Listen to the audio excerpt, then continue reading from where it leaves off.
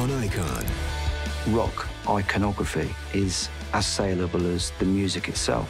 The fact that they get pleasure from having this image on their wall, that's how I get my cookies.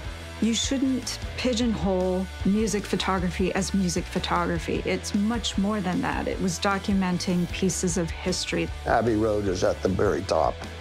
It's a bit of a holy grail.